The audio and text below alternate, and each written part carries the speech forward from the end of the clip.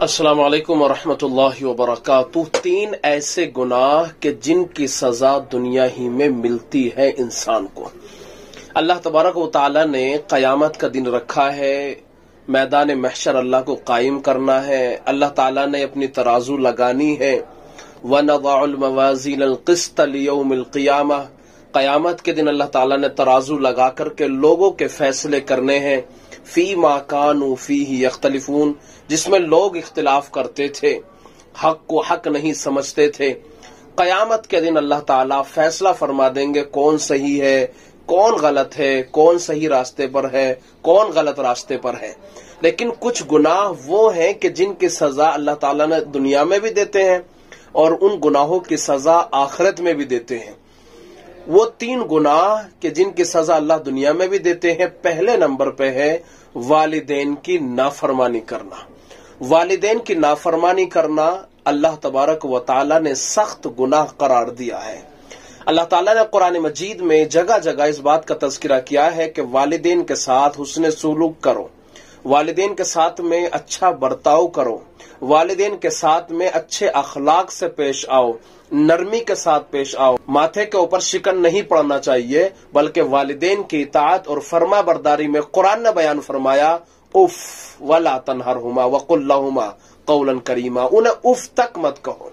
और अल्लाह ताला ने अपने हुक्म के फ़ौरन बाद वालिदेन का तस्करा फरमाया है वक़ा रब्बू का अल्लाह ताबुदू इयाहू व बिल वालिदैन एहसाना कुरान मजीद में कई मकाम पर अल्लाह ताला ने वालिदेन के साथ हुसन सलूक का हुक्म दिया है। तो जो बच्चे अपने वालिदेन की इतात नहीं करते, जो औलाद अपने वालिदेन की नाफरमान है, अल्लाह ताला उनको दुनिया में ही ये सजा दे देते हैं।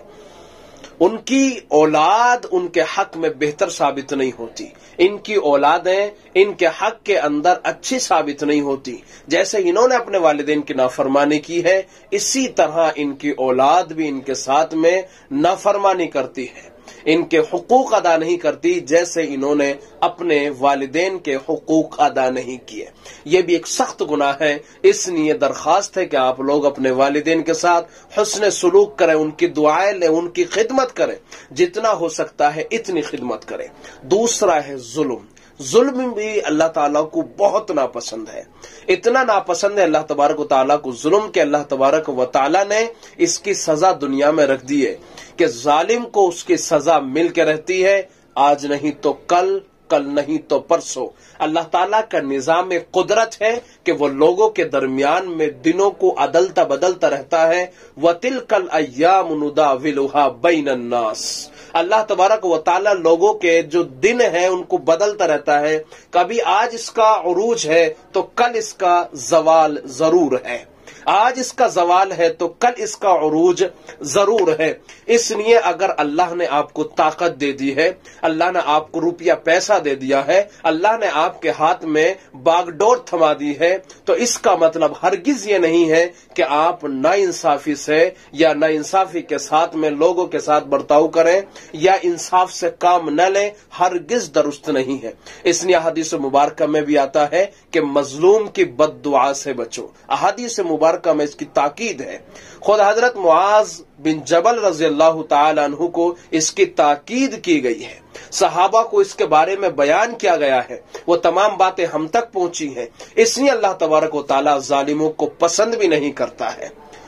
तो दो बातें हो गई, एक वालिदेन की नाफरमानी, दूसरा है जुल्म। ये जुल्म भी अल्लाह ताला को बहुत नापसंद है। इसकी सजा अल्लाह दुनिया में भी देते हैं। यहाँ इंसान अपनी आँखों से देखता है और आखिरत में भी उसको सख्त सजा मिलने वाली है।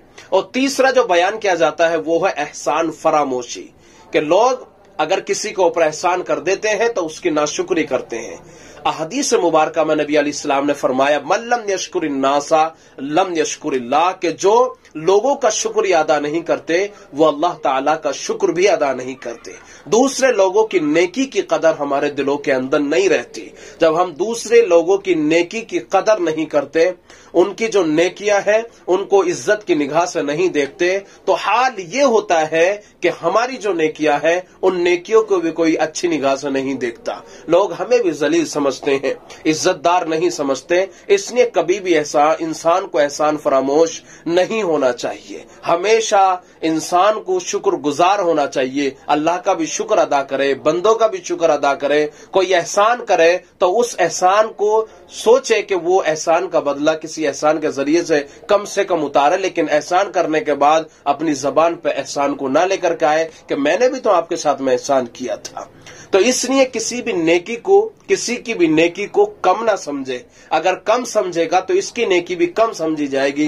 लोग इसे भी इज्जतदार नहीं समझेंगे। इसलिए ये तीन गुनाह है। दुआ है, अल्लाह ताला हम सबको इन तमाम गुनाहों से महफूज फरमाए और अल्लाह ताला हमारा खात्मा बिल ईमान फरमाए असलकम वालेकुम वरहमतुल्लाहि वबरकातुहू